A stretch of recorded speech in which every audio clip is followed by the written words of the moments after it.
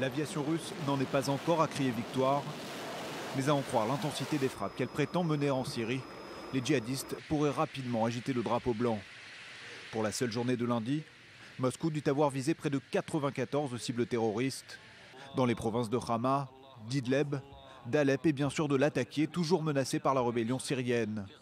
En trois jours, le ministère russe de la Défense affirme avoir neutralisé un total de 285 cibles, essentiellement contre le groupe de l'État islamique. Une nouvelle dont devrait se réjouir Bachar el-Assad.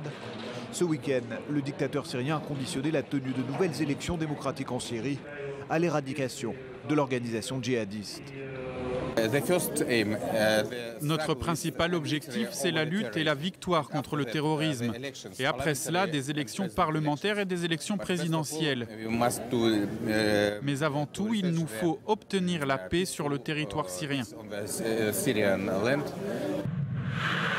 En attendant que la situation sur le terrain évolue en faveur du régime de Damas, la coalition dirigée par les États-Unis tente de rester impliquée dans la région. Ces dernières heures, des pilotes arabes ont bombardé et détruit la prison d'Adjiwa au nord de l'Irak.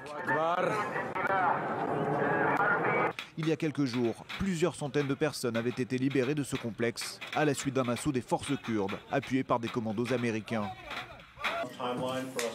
C'est dans ce contexte que de nouvelles concertations devraient avoir lieu au sujet de la Syrie avec les États-Unis. Et première, la République islamique d'Iran, qui elle aussi cherche à garder son influence dans la région.